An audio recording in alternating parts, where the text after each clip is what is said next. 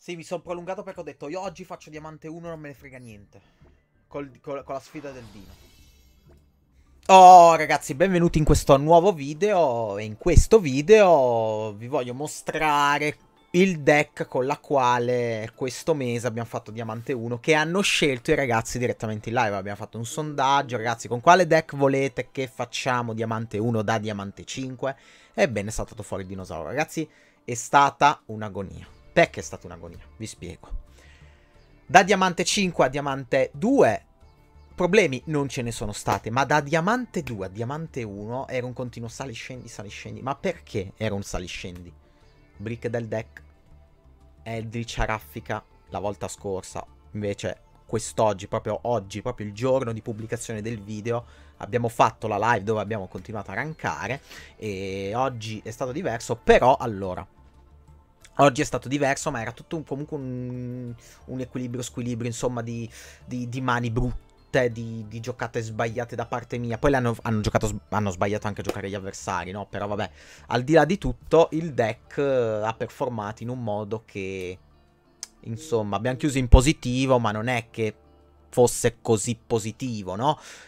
Ok, c'è il 42-26, però sono sempre 26 sconfitte, 42 win il deck si conferma comunque essere quello che è un T3, no? Mm, non un T2, non un T1, molto spesso abbiamo visto delle brutte mani, un Ash tirato, un Max C tirato che non potevamo fermare, ci ha causato veramente grossi problemi, uh, quando abbiamo iniziato a incontrare tro troppe, ma veramente un Eldritch dietro l'altra e L'altra, vabbè, l'altro, un Eldritch dietro l'altro, ha iniziato a mendeccare a caso spolverine e doppio fulmine tempesta. Doppio fulmine tempesta perché ne ho due, che comunque erano searchabili ad ogni modo di Jara, per cui comunque le possibilità di andarle a pescare c'erano. Siamo andati a 44 carte da 41 che erano, le doppie goccioline mh, mm, sono state comunque quasi mai giocate, non ho quasi mai pescate, detto sinceramente. Cioè, quella volta che le ho pescate le ho settate, ma non le ho quasi mai giocate. Proprio perché non le ho mai pescate in eh, 68 partite. Quasi mai, eh? Quasi mai, giuro.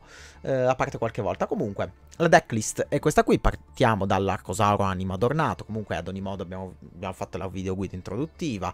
Must, Must 3 Baby, Must 3 Max, Must il piccolo Pteranodon, Must 3 Ash, Max, uh, Must um, il Rex, Chimera nera, tutto must, insomma, quello che c'è qui, assolutamente. Spolverine fulmini tempesta li ho usati contro Eldritch, ma poi la mano non mi ha aiutato a partire e così via, per cui sono stati anche inutili da quel punto di vista lì. Cioè, ok, mi hanno pulito delle board, però comunque il deck non mi ha aiutato a sistemare, insomma, le situazioni quando riuscivo a pulire, insomma.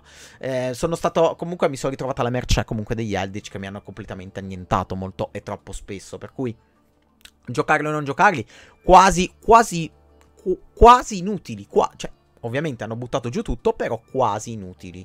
Non, ho, ho, le ho perse le partite dove ho tirato questa roba qui. Ad ogni modo, sono stati utili contro altri deck che insomma hanno distrutto most in attacco, hanno baitato la baronessa e così via. Per cui comunque il loro lavoro l'hanno fatto tutto, no? Poi vabbè, eh, doppia pillola must, terraforming must, tu, tutto must. A parte le due goccioline che praticamente non ho quasi mai usate, quasi, quasi ad andarle a togliere, no? In questo deck, perché tanto la potenza del tiranno è tale che tu lo evochi e picchi tutti, non, non c'è un problema, no?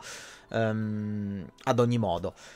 Per il resto, il deck ha performato come si supponeva, non un top tier, non un top meta, in tier 3 ha regalato emozioni, ma ha regalato anche grossi dispiaceri, assolutamente. L'extra deck invece, avevo un pelo in bocca, scusate, l'extra deck invece è è stato molto versatile perché abbiamo sia utilizzato spesso Savaggio, abbiamo usato Laggia, Dolka, non abbiamo mai utilizzato Dweller, mai perché non è meta di Dweller. Abbiamo utilizzato Baguska che in un'occasione in un'occasione veramente stata contro Sborsole, è stata apocalittica, vi farò vedere adesso qui ehm, mentre sto parlando, praticamente è stato veramente incredibile Baguska, veramente molto risolutivo contro Sborsole, ci, eh, ci ha gestito un'intera board sotto Max, l'abbiamo piazzato, la versione non poteva farci in permanence perché c'era il token di Lost World, è stato veramente pazzesco questo Baguska, veramente veramente incredibile.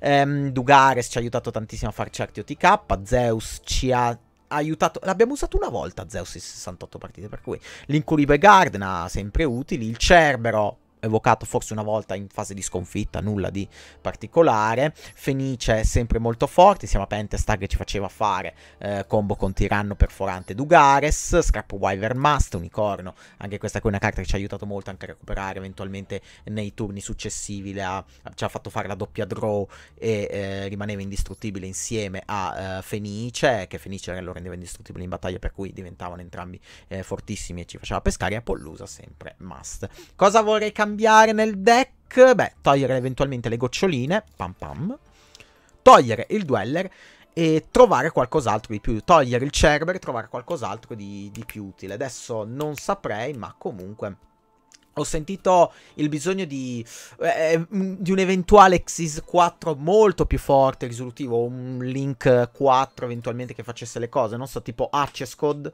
Accescode ne ho sentito la mancanza, sono sincero ne ho sentito veramente la mancanza, infatti lo vado ad inserire, perché c'era quella qualche volta che potevamo fare combo destra-sinistra, eccetera, ma ci mancava quell'access code che ci aiutava a bittare, tu dici, vabbè, ma c'è il tiranno, sì, era quello che pensavo anch'io, ma invece access code, ragazzi, era, era abbastanza importante, come quindicesima carta invece ancora ci devo pensare, francamente, il risultato comunque ad ogni modo eh, lo vediamo qui, ad ogni modo, non è stato né, né troppo...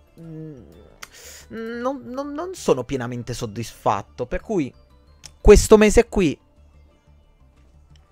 Ok, abbiamo sputato sangue per chi l'ha visto in live. Ehm, sa bene, ma questa è quella mia esperienza, ragazzi, col dinosauro verso il diamante 1. Non so voi, ho sbagliato anche molte giocate, molti di voi l'hanno visto. E come anche gli avversari hanno sbagliato anche loro molte giocate. Per cui era, alla fine ho sbagliato io, ho sbagliato loro è stato un botta e risposta, no? Per cui ci annulliamo completamente.